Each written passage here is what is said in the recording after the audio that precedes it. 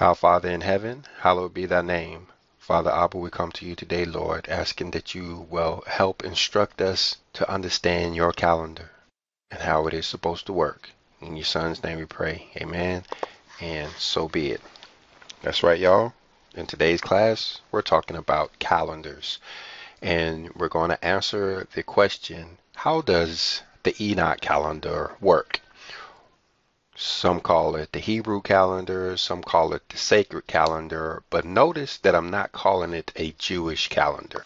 We're going to be talking a little bit on the Jewish calendar in this video, but primarily we want to focus in on the Father's calendar, the sacred calendar, the calendar that's explained in the book of Enoch. Now, I wanted to do this video for the same reasons that I'm sure that you're hearing a lot about calendars these days. And that is because there is a discrepancy between the Enoch calendar and the Jewish calendar for the year 2021. We're going to talk more about the Jewish calendar at the end of this video but because those calendars don't match up for the year 2021, you have a lot of conversation around calendars. Some are coming real close to the actual Enoch calendar, but others are using this state of chaos to create their own calendars. Now, I have to admit, I was one of the last to realize that the year 2021 has a leap year in it. I have been trying to follow the Father's sacred calendar since the year 1998 when I first realized that those feast days mentioned in Leviticus 23 apply to us. And over the years, I have been relying on the Jewish community to get me within the ballpark of the feast days or within the month of the feast days and all I did was go in and verify the exact timing of the new moon for myself. And I believe there are a lot of people who have been doing that, and a lot of people are realizing that if they do that in the year 2021, they're going to be off by a month. They're going to be celebrating the feast days a month too early. All right, now, before we get into how the Enoch calendar works, I want to ask you a few questions to make you think for a second. What do you think our ancient ancestors did before they had clocks or stellarium or calendars printed out hanging on the wall? How did they tell time? How did they know what day it was or what month it was or what season that they were in? Now, you have to understand that many, if not most, of the promises of the Bible are based around agriculture. And that's what makes the feast days so important is because those are actually agricultural appointments that our Father expects us to keep every year. But what was those guys doing? Were they just making up calendars? Or did people like Noah have a way of knowing the exact timing? Well, the answer is found in Genesis chapter 1, verses 14 through 16, where we read that the Father has put lights in the firmament of the heaven to divide the day from the night and to be for signs, seasons, days, and years. What this is talking about, of course, is the sun, the moon, and the stars. Those are the timepieces of the sacred calendar or the Enoch calendar. And you actually need all three in order to know what day it is. And that's what we'll be talking about in this video. So how did they use this timepiece, the stars, the moon, and the sun in order to track time? When we look in Isaiah chapter 38 and verse 8, we see that they actually had sundials back in the day. Turns out King Ahaz had a sundial. But now, when you look at how so casually it mentions the word sundial when it's talking about the luminaries changing course midstream, makes me think that all of the kings would have had a sundial. You see the same story talked about in 2 Kings chapter 20 and verse 11, where it's just called the dial of Ahaz. Now, here is a picture of a sundial that my kids and I are making out of an old satellite dish. These things turn out to be yard art all over the community. All we did was put a piece of all thread in the middle of it for a pole to cast a shadow, set it at the right angle, and painted it. And now we'll be able to tell what season we're in, just like they did in the old days. But anyway, we'll come back to this sundial. First, let's come over to the book of Enoch, where we get all of the information regarding the luminaries. Anybody who tries to formulate a calendar outside of the rules described in the book of the revolutions of the luminaries of heaven are not creating an Enoch calendar or a sacred calendar. And chances are, at least some years, they're going to get the feast days wrong, as they'll be in the wrong season or the wrong month. But anyway, let's jump down to about verse 2 in chapter 71 of this particular translation. There are three translations shown on the screen, but the other books have it listed in chapter 72 but that's okay. They say the same thing.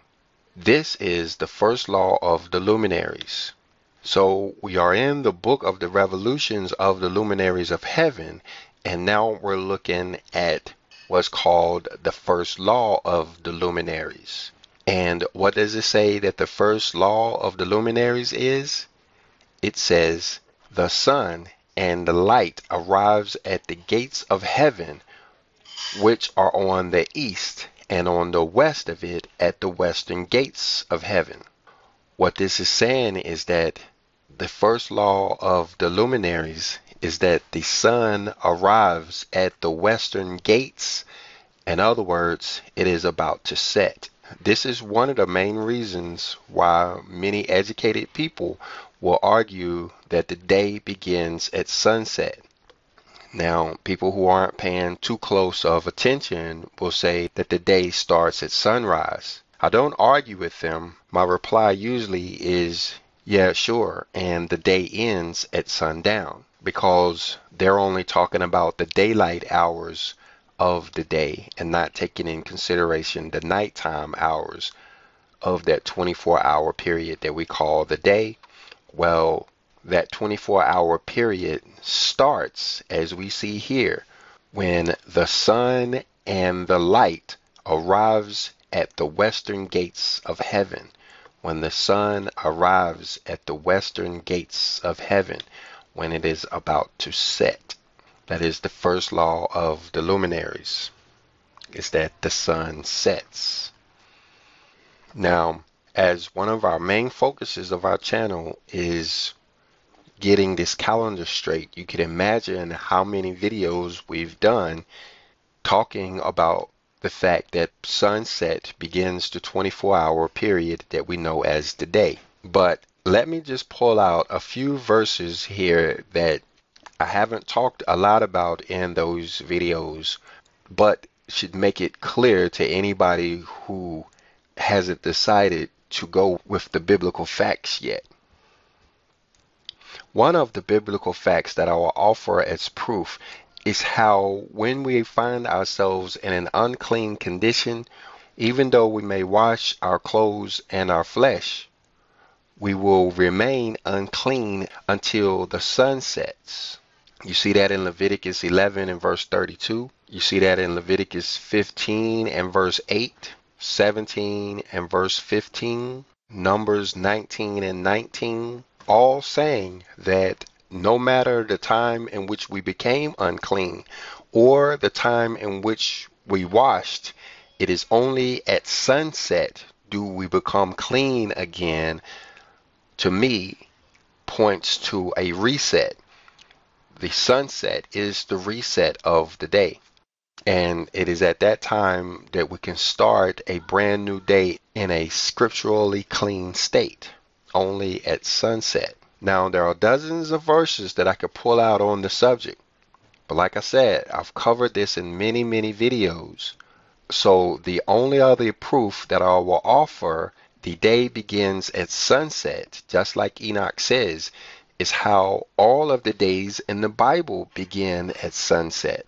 Not only when you look in the book of Genesis, when the Father was creating the heavens and the earth and all of the creatures therein, did he say, and the evening and the morning were the first day? But when you look in the book of Leviticus, chapter 23, you see that every feast day starts in the evening time.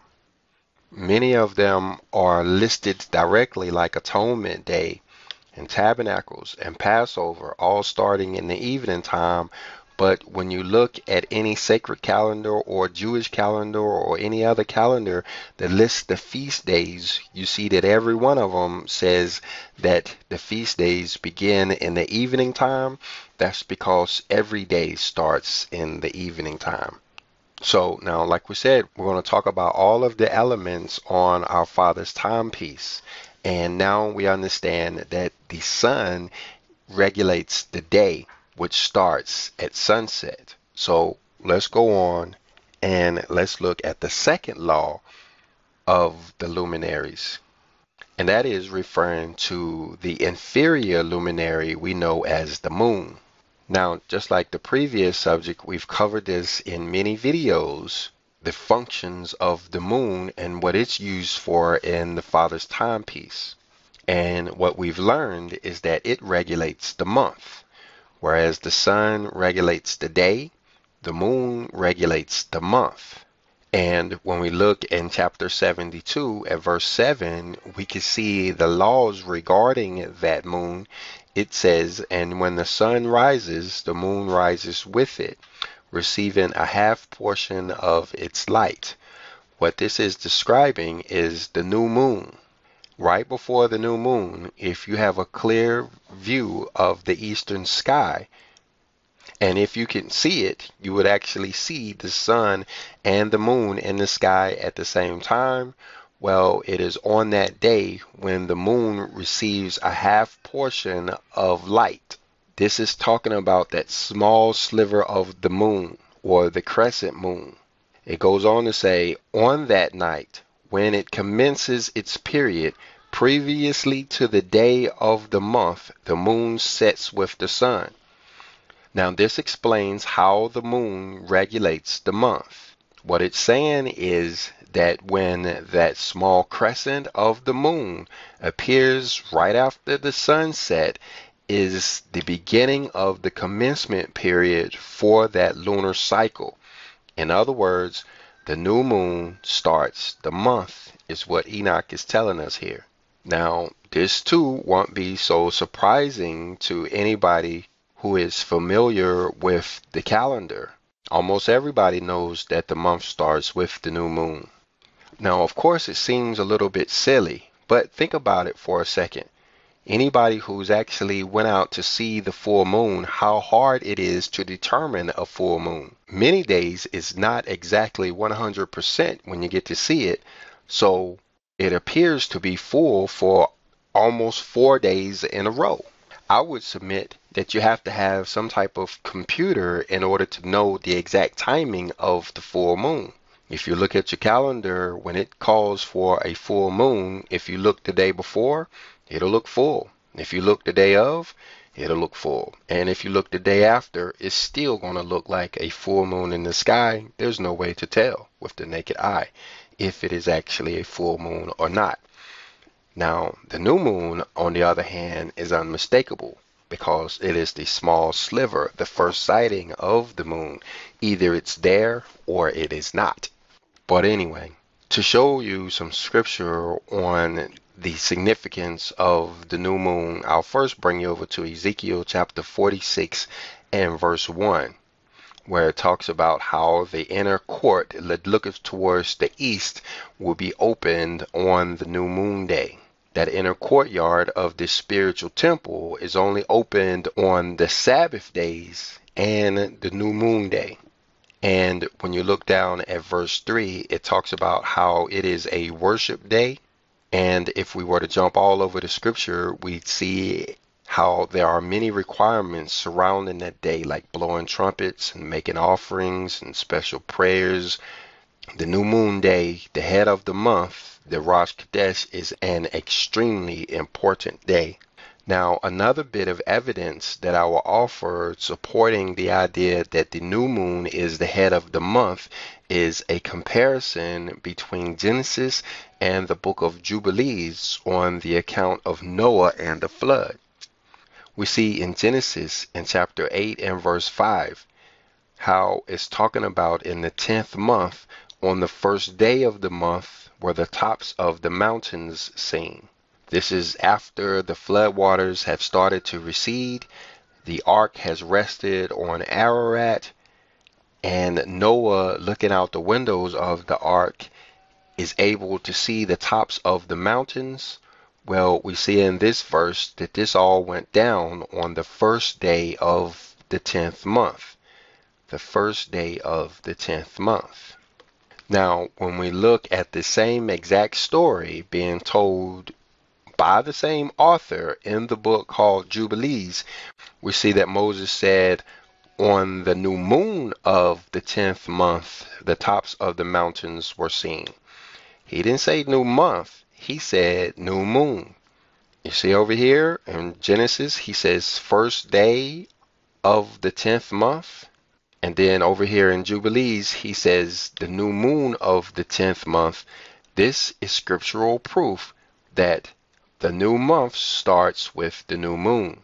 And that is the second law of the luminaries. So, you have the sun to regulate the day, and you have the moon to regulate the month. So, we have the greater light and we have the lesser light. So, the only other element of the Father's timepiece is the stars. Now, to see how to use those to track time, we come back over to the book of Enoch in the book of the luminaries, dropping down to verse 9. It says, In the same manner it goes forth in the first month by the great gate. Now, we're still talking about the sun here, but notice it's talking about these gates here. And those gates are what you see if you could look past the sun and see its position in the sky. This is what they talk about in astrology or astronomy when they say that the sun is in Aries or the sun is in Cancer. And when the sun enters Aries, it is actually entered the first month or this fourth gate or fourth portal. But now let's jump down to verse 44 because it gets more specific. Now, up there in verse 9, he was talking about the first month. But down here towards verse 42, he's actually talking about the 12th month. So he's explained all of the solar months as well as the gates they go in and a lot of other information that you find in the book of the luminaries. But now he's about to finish out the year and he's telling us when the year ends. It says, at that period, the night becomes shortened. It is nine parts, and the night is equal with the day. So this is talking about a very specific time. This only happens twice in a year when the nights become equal with the day. One time is during the spring equinox or the spring equilux, and the other way is during the fall's equinox or equilux. Now, the equilux is the exact time of the year in which the days and the nights are equal, but it occurs at different times in different locations, and you need a computer in order to figure out when the equilux occurs. The equinox, on the other hand, even though the days and the nights are approximately equal, not exactly like on the equilux, the equinox actually occurs at the same time on the same day anywhere on the planet. You can imagine how important that is, especially when you consider that the equilux could actually occur on different days, even within Palestine or Israel. So, if people were tracking the equilux, people would show up to Jerusalem on the feast at different days. But anyway, what Enoch is telling us is that when these days and these nights become equal in the spring is the last day of the year. Notice right there, he says the year is precisely 364 days. So, to put this all together for you, understanding what we read up there in verse 9, how the head of the year begins when the sun equals the fourth portal on the equinox, which is on or about March the 20th these days. If you count 364 days from that day, you end up on March the 19th, which is actually closer to the equilux, that exact day in which the nights and the days are equal. So it turns out the 364th day is a calibration day and helps us to reset the calendar every year so that our calendar doesn't drift. But like we said, we're going to talk about the Jewish calendar, and when we do so, we'll talk about the drift.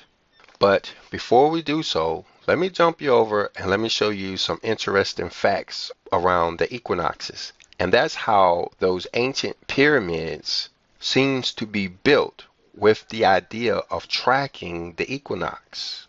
Let me show you what I mean. You see over here the pyramid of Giza and how on the exact date of the equinox, the shadow is cast on exactly half of the pyramid, while the other half has no shadow. That only happens on two days out of the year. So, in other words, the Great Pyramids, amongst other things, are a big sundial. The Itza Pyramid in Mexico is also a sundial thousands of people go there every year on the equinoxes just to see the shadow it makes on that exact day every year. One can say that's a lot of work for a sundial, but then you have to remind yourself how important it is to get the days right and the calendars right and how that would have been the only way they would have been able to keep track of time. And we see over in Exodus chapter 12 and verse 1 that Moses was told to make that month in which they left Egypt, the first month of the year, that head of the year is the month in which the sun enters the fourth gate, just like we read over there in Enoch. So let's come back over and let's look at the sundial that we're creating to see how all of this would work. Now, when you look close at this line that will represent high noon, you see tick marks on it that represents the gates. Now, like I said, we haven't finished this yet. The way it'll work is based on the position of the sun, it will cause a shadow to be cast in the appropriate gate. This shadow that you're looking at here now is actually being cast in the fourth gate and each day it would get longer until it reaches this mark and it would enter the fifth gate. So you have the fourth gate right here, the fifth gate right here, the sixth gate right here, and it's also in a sixth gate right here.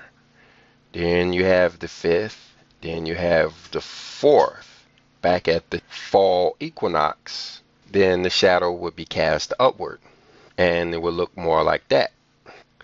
Now, this right here is the main feature of this particular sundial and the way it was built. See how there's no shadow being cast whatsoever? It appears that way. Actually, the shadow is cast only on this nut right here. You can barely see it around there. That would only happen two days out of the year. But the one day that we are particularly interested in is that 364th day that Enoch talked about. So, in other words, when we see the shadow on this equatorial sundial look like this, we'll know that the very next day is the head of the year and that time in which the sun will enter the fourth portal. And only after that date do we start looking for the occurrence of the new moon? If the new moon fell before that date, that means that we're not in the next year yet and we have at least another month to go. But once we have crossed the equinox and the sun is firmly planted in the fourth gate and the new moon appears, do we know that we are in the head of the month? In other words, on our equatorial sundial, this shadow will tell us when to start looking for the new moon to start the new year. So that's how it all works. You have the sun determining the daylight from the nighttime. Then you have the position of the sun telling you what season you're in. Remember that these different gates here represents the sun's position. I could easily write in Aries here, Taurus here, and Gemini right here, but the scripture doesn't mention those names anywhere. So I probably won't include them. I'll just call them gates. So, like we said, that's how it all works. That's Enoch explaining the revolution of the luminaries, including the 364 day year. Now, Moses is also telling us that there's a 364 day year in the book of Jubilees in chapter 6. It is in that chapter that Moses explains the importance of understanding these calendars in the way that I've just explained them.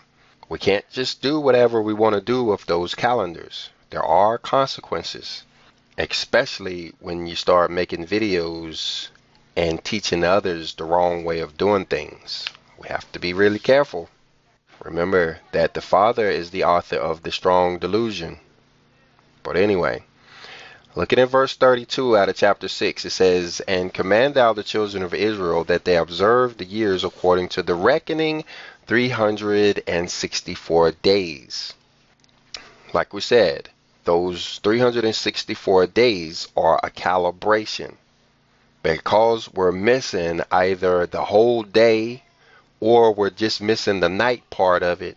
Whatever it is that doesn't allow us to count that 365th day is what causes us to recalibrate the calendar every single year. It says, And these will constitute a complete year, and they will not disturb its time from its days and from its feasts.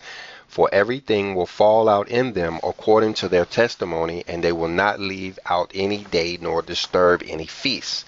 So, what this is telling us is that we have to recognize these 364 day years, or our years will become dislodged and our feast days will be disturbed. In other words, we'll be keeping the wrong feast day in the wrong month.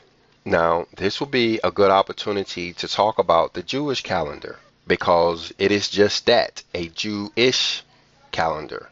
It's not a Hebrew calendar, it's not a sacred calendar, it's not an Enoch calendar because it is a fixed calendar. Whereas the book of Enoch had us changing or recalibrating the year every single year based on the 364th day. The Jewish calendar was fixed during the Council of Nicaea or the Council of Trent.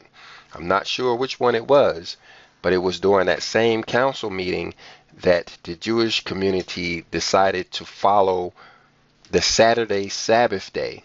And they have been keeping their Sabbath days on Saturday ever since as part of the fixing process.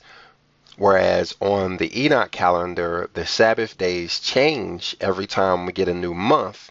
On the Jewish calendar, the Sabbath days are fixed. But that's not the only thing that's fixed. The main thing that they fixed is they took out the calibration of the 364th day. When you read all about Hillel 2 and the Jewish calendar, you'll notice that it never ever talks about 364 days because it's not part of their system. So let me bring you over to this website, hebcal.com, that gives us the timing of the head of the year on the Jewish calendar. They call it the Rosh Chodesh for Nisan. And we can go back and we can look from 2007 and what we see is that according to the Jewish calendar, the new moon that started the year of 2007 fell on March the 19th. Now, that's right there in that gray area. So I'm just going to ignore that one for now. Now, when you look in 2008, the new moon was on April the 5th, which is well after March the 19th and March the 20th. So that would definitely be the head of the year in 2008. In other words, the feast days listed by the Jewish community were correct in 2008, as well as 2009, because the new moon fell after March the 20th on March the 25th. But look at 2010. According to the Jewish calendar, which is a fixed calendar, the first day of the first month in 2010 fell on March the 15th, which is well before the sun entered the fourth gate on March the 20th. In other words, they should not have declared March the 15th of 2010 the head of the year because it came in the wintertime instead of in the spring like Exodus chapter 12 told us that the new year had to start. Now, in 2011, it wasn't a problem. 2012, it wasn't a problem. But look at 2013.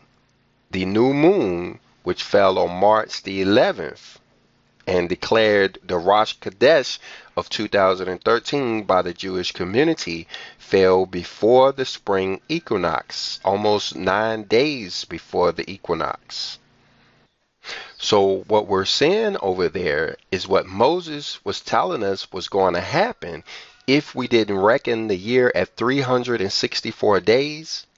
You see in verse 33 it says, But if they do neglect and do not observe them according to his commandment, then they will disturb all of their seasons, and their years will be dislodged from this order, and they will neglect their ordinances. So because the Jewish community has fixed their calendar, you can see that their year has gotten dislodged. Let me show you what I mean. Here is a calendar that my children and I built back in 2015. It's based on the book of the luminaries. And right here you would have day 364, with the next day being about March the 20th when the sun enters the fourth gate and the spring equinox. Well, normally I only have one string up here to indicate the day because once we've gotten the year started, then it kind of changes over to a lunar calendar where each one of these blocks represent a lunar month.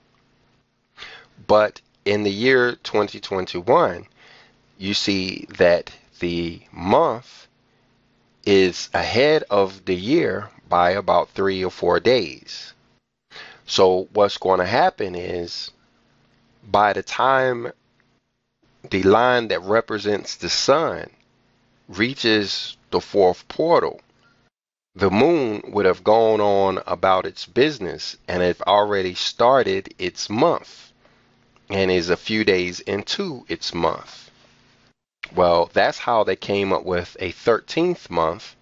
For it to be the first day and month of the year, it has to fall after the spring equinox. But when we're looking back over here at this hebcal.com, many years, the fixed Jewish calendar declares the first day of the first month in the wintertime before the spring equinox, like it did in 2013. But now, when you go in and you look at Google for Passover 2013, it tells you that it fell on March the 25th. And we know that that's supposed to occur on the 14th or the 15th day of the month. So if we subtract 14 days from that, we end up on March the 11th, just like it says over here. So, in other words, Passover was not on March the 25th of the year 2013. Well, that's what the book of Jubilees is saying. It says, if they do neglect and do not observe them according to his commandment, they will disturb all of their seasons, and their years will be dislodged from this order. This is the evidence that the scripture is true, is that they're now celebrating the head of the year in the wintertime and not in the springtime, according to Exodus chapter 12, verse 2. Let's go on in Jubilees. You see where it says, and they will neglect their ordinances? You have to remember that this Hillel II actually fixed the calendar back in the days of Constantine the Great, the father of the Catholic Church, the same Roman emperor that changed all of the pagan festivals into Christian holidays and hid many of the books that we consider apocryphal books, just took them out. The same guy that changed the commandments is the same Constantine that presided over the council meeting in which they changed the Enoch calendar into a fixed calendar. In other words, the fixing of the Jewish calendar could very well be the cause of the church age. And I don't mean that in a good way either. Think about that harlot riding on the red beast, drinking from her cup of blood. It should be easy to see how the church has gone backwards since the days of Constantine. It seems like everybody's neglecting ordinances these days. But let's go on. It says, And the children of Israel will forget and will not find the paths of the years, and will forget the new moons, and the seasons, and the Sabbaths, and they will go wrong as to all of the order of the years. So when you're looking at all of the competing calendars out there who don't mention or understand the 364 days but yet are still producing calendars and trying to tell us what day it is, notice that they're not considering the new moons. Notice that their seasons are off. And notice that their Sabbath days are fixed. Whether it be on Sunday or whether it be on Saturday, it's a fixed Sabbath day because they're on a fixed calendar. I guess I should mention this verse 36 here how it says, For there will be those who assuredly make observations of the moon, how it disturbs the seasons that comes in from year to year, two days too soon. Yeah, this is kind of like what the Muslim calendar does, where their feast day of Ramadan falls 11 days earlier every year. It's because they're not using the 364th day calibration day to reset their calendar every year. Therefore, their seasons are dislodged and they are a good example of what's happening with the fixed Jewish calendar, only more slowly. Because they didn't bother to learn the 364 day year, Ramadan could fall in any season. Well, we shouldn't snicker at them guys too much because the fixed Jewish calendar has us all on the same track too. For instance, when you look at the year 2018 and they declared March the 16th as the head of the year, that is yet another year when the followers of the fixed Jewish calendar failed to keep the feast days in the correct season. And I'm going to say we, because I was included in 2018, probably missed most of the feast days during that year. So imagine that you have people who try to keep the feast days every year, understanding that they have to do them on the correct day. They can't worship the Father when they want to. They have to worship Him on His correct day, or it's considered an abomination. Well, in 2014, we got it right. In 2015, we got it right. 2016, we all were celebrating the feast days correctly. In 2017, we were all doing a good job and keeping the feast days, but in 2018, it's like we all lost our mind and decided that we weren't going to keep the feast days for that entire year. And then we picked back up keeping the feast days in 2019 and we did them in 2020.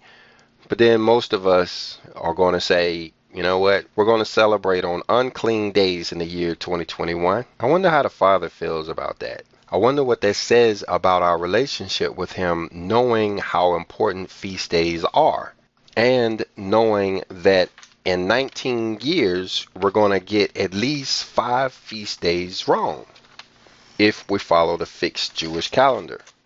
Over the course of 20 years, following the fixed Jewish calendar, you're going to celebrate all of the feast days at least a month early, six times. But praise the Lord, the trophies are not going to go to those who were ahead of us at the beginning of the race, but it is those who finish the race strong will get those rewards. So let's correct, let's change, let's do it right. Let's understand how the Enoch calendar is supposed to work and when we are supposed to keep our feast days properly. Go ahead and subscribe to the channel if you haven't done so already. And one of the subsequent videos, I will go into detail on the feast days, including the four seasonal days that we are supposed to keep. I'll let you know now in case you don't see one of those videos. March the 19th is actually a very special day according to the Enoch calendar. But since you'll have that bell notification button pushed, you'll see that class when we put it out. In the meantime, may our Father bless you and keep you. May Father make his face shine upon you and be gracious unto you. May our Father lift up his countenance upon you and give you peace.